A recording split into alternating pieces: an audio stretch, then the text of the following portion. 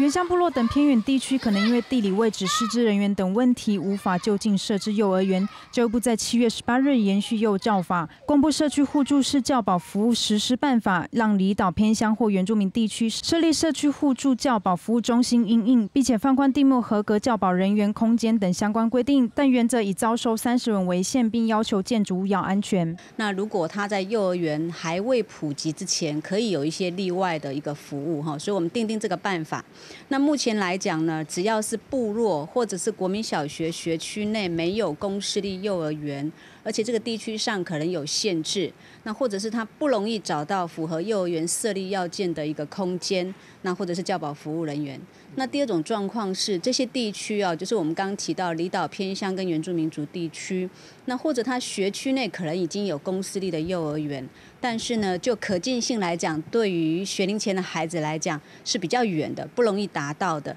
那这种状况底下，也可以来申请。部分偏远及深山部落幼儿园难以符合民众救济托育的需要，也有部落位于保安林地，建筑物及时安全，目的规定不能盖教室等建筑物，也有部落聘不到合格的教保人员，没有办法设立幼儿园。不过有了这个办法，得以延续幼儿教育机构的生存。本来我们仁爱乡在十二所托儿所里面呢，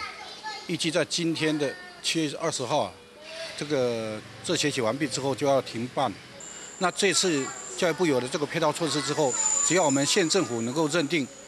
同意，啊，来正式的告知我们相关所能够继续来办理的话，我们非常乐意。教育部国教司指出，幼儿教育及照顾法今年上路后，全台七千多所托儿所及幼稚园年底就要改制为幼儿园，包括公共安全、硬体设施等相关人员等都要符合法令规定。教育部也表示，这项办法是依据母法幼照法，让需要的地区有法可循，并订立室内外活动空间、厨房、保健区及卫生设备等相关要求。记者邓立夫赛台北市采访报道。